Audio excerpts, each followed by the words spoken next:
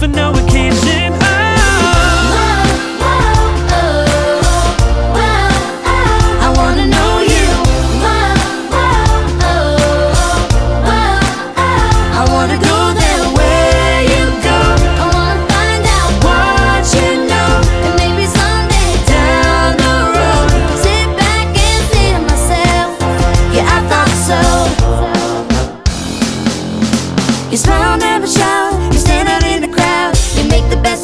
Situation.